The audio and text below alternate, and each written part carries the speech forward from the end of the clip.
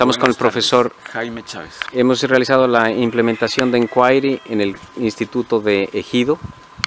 ¿Cómo le ha parecido la experiencia? Me ha parecido una experiencia maravillosa porque es algo novedoso y sobre todo que aspectos del ser humano que muchas veces los docentes descuidamos como es la parte eh, de las emociones y las relaciones, elementos importantes de, de, las dimensiones del ser humano, ¿no? que muchas veces solamente nos centramos en la parte intelectual y pensamos los maestros que nosotros estamos aquí solamente para alimentar a cerebros, pero nos olvidamos de la parte de relaciones en los estudiantes y de las emociones, de lo que ellos sienten y de lo que ellos pueden con ese, con ese sentimiento hacer y crear y la parte de la energía, que es otro punto importante dentro del ser humano. En Quaire lo, lo, maneja muy bien, esa es una de las reglas, ¿no?